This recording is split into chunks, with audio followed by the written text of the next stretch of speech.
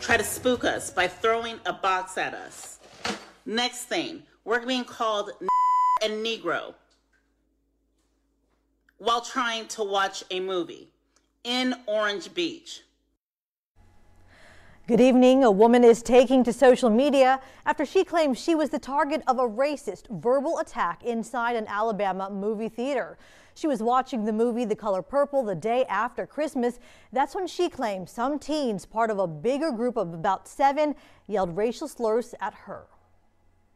Outside the AMC Classic on the wharf, Kolo Wilkinson's eyeshadow and scarf are the embodiment of the color purple. This movie meant a lot to me. Pictures show Wilkinson, her sister, and her best friend the day after Christmas at the theater. I had worn an item that was important to my mother um, because she introduced me to this amazing book. Wrapped in her mother's purple shawl, she had no idea movie night would have a different ending. This movie is so much about embracing your power and standing in your power being proud of your skin and to have individuals steal that from us is obscene, disgusting. About five minutes into the screening, Wilkinson claims they were hit by a box of crackers.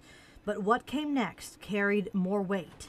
A couple minutes later, somebody yelled out the words and Negro. And we immediately got up from our seats. We were very, very scared. She claims a group of white teen boys were to blame. My sister actually tried to chase them down and was almost successful, but clearly these were young athletes. They ran very quickly through the parking lot at which time my sister called Orange Beach Police Department. Orange Beach police say they have no audio or video but are investigating her report. I'm told the officer who responded talked to people in and around the theater and the wharf Leads from them helped officers track down who the boys were. Police confirmed the teenagers who are from the area are under 16 years old. Officers spoke to them and their parents. If somebody can come into a dark theater, yell out Negro, yell out and clear a theater because individuals are afraid, that to me constitutes a hate crime. Period.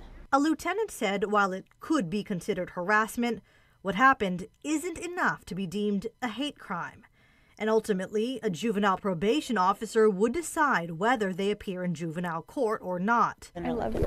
Wilkinson's best friend was there at the movie that night. I spoke to the movie theater manager who confirmed teenagers have been causing trouble over the last six months in similar incidents, yelling racial slurs. Wilkinson said theater employees told her it's cost them thousands of dollars. These children, these teenagers, have been coming to the theater and causing a disturbance to moviegoers.